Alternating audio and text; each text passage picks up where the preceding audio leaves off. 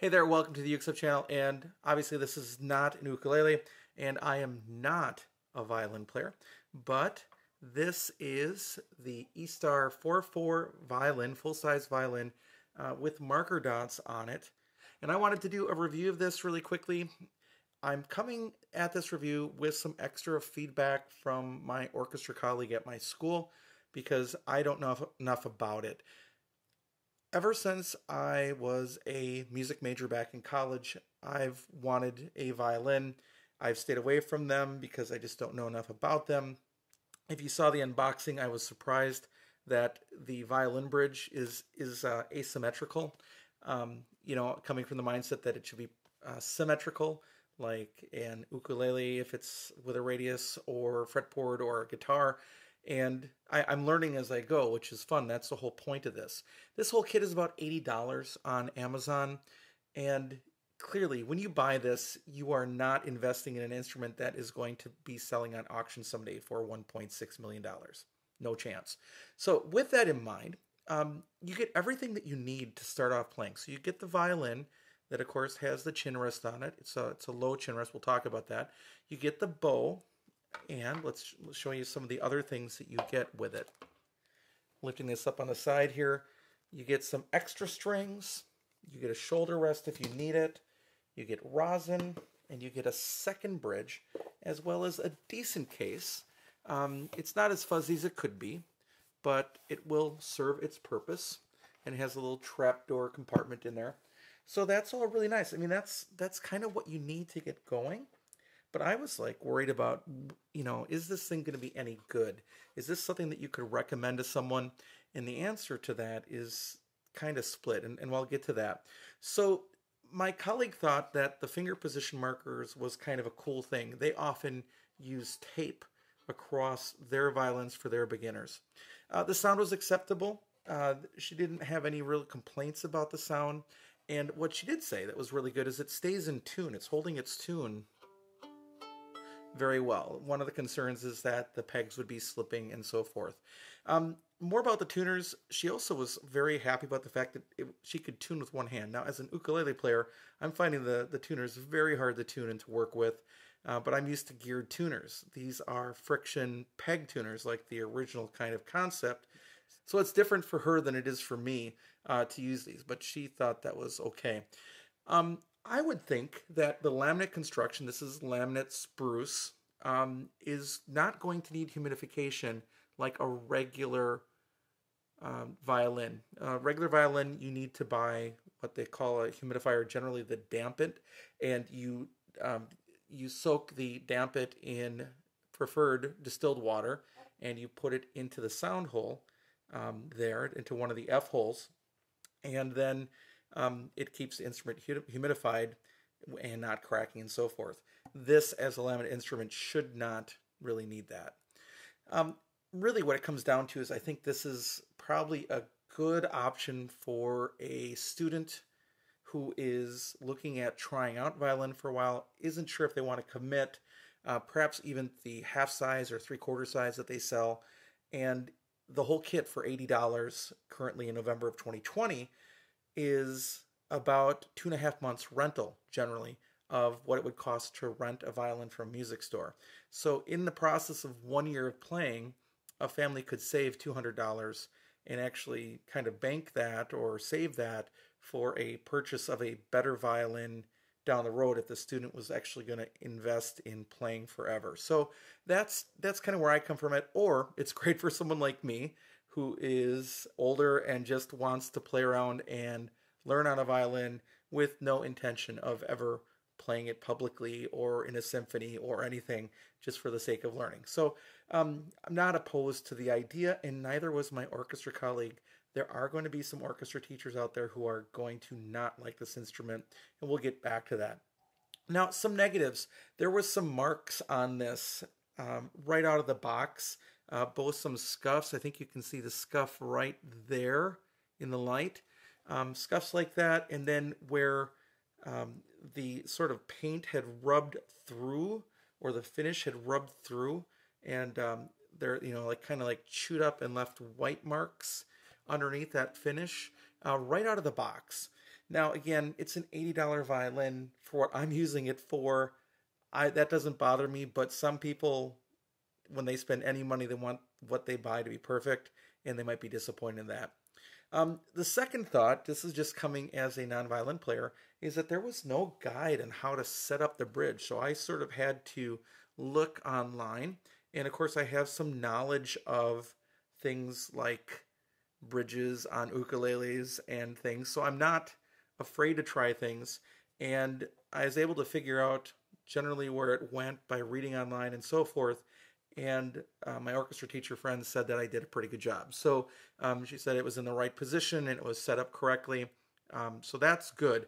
But quite honestly, the company could include just a little guide that maybe would go underneath the the fretboard there. It's not really fretboard, whatever they call that. I need to look that up. Um, but anyway, they could make it so that it went up against their ukulele player, talking about a violin, not a fretboard. But anyway, that fingerboard there, um, underneath that, uh, going to the bridge, they could have a little guide that would help you do that. Even paper that you could lay in there and include almost for free, or they could make it out of like clear plastic or something. That'd be all right.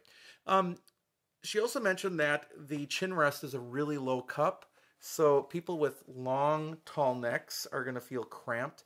Um, I suppose I could even be a little higher, and that would be okay. So, um, yeah, I don't know. And maybe that's ideally for students that would have a shorter neck. But at the point that a student is playing a 4 4 violin, uh, they would have dun- uh, dimensions of an adult anyway.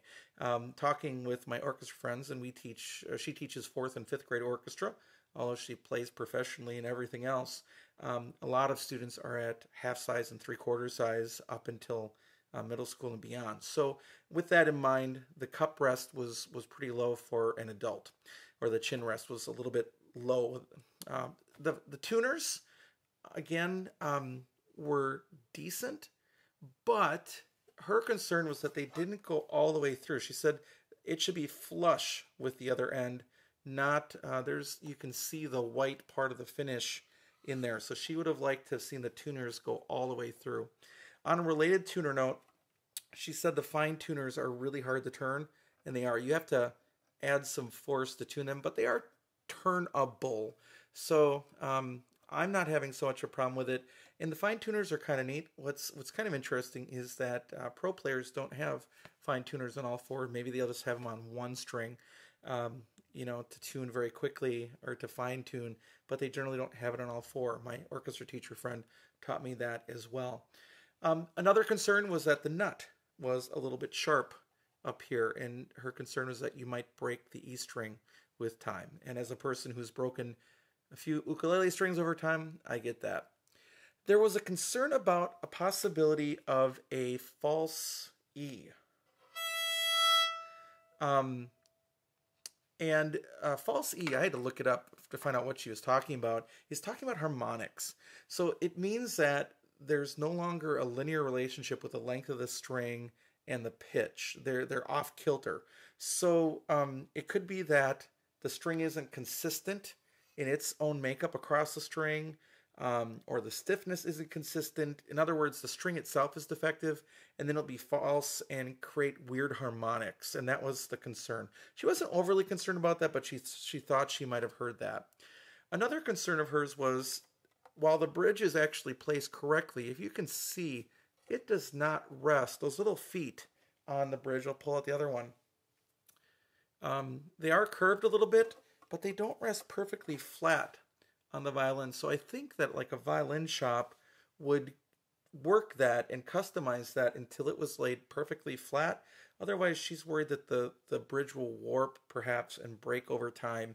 Um, and that's something to be concerned about. At the same time, uh, these bridges are completely replaceable. And um, I did not realize that, that this piece, while it's very important, um, is also massively replaceable. So, as an ukulele player, if, something happens to your bridge, um, you like the glue lets go, it's repairable, but it's that's not a minor fix. I mean, it's fixable, but at the same time, that's not so good. Well, bridges with violins is um, very common. So that's kind of interesting to, to know. Another issue is that she wasn't sure how long this bow would put up. Um, upon further inspection, she thought the bow was better than some that she's seen, but she was concerned about its overall uh, lifetime.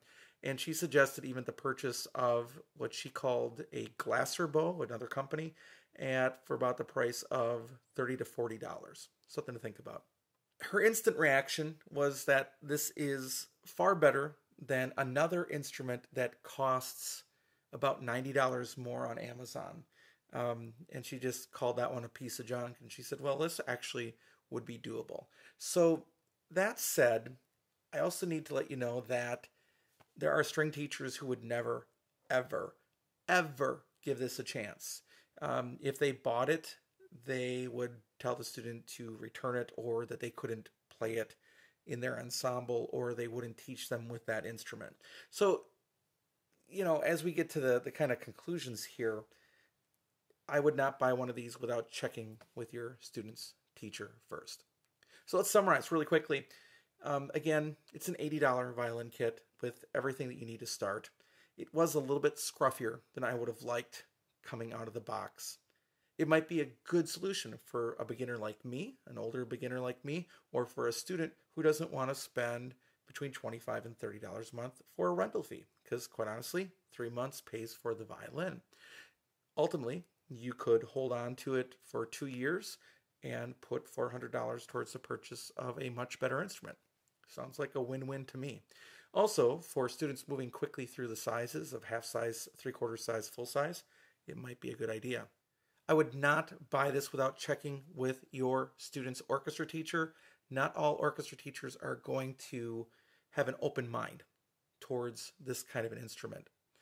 And what my colleague said was this, and we were facing some financial crises in our in our district and so forth, as many schools will be um, following the events of 2020.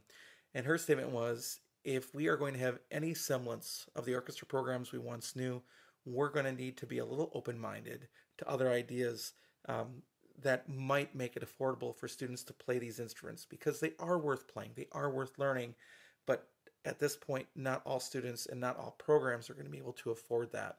So if you have something like this that can help bridge that gap, it might be worth looking at. So that is the Eastar 4-4 size violin with the dots. Um, again, I'm not a great player. I'm hardly a player at all. So um, I'm just thrilled to have this and to take a look at it and to share it with you. And again, if it's something you're interested in, um, yeah, go for it.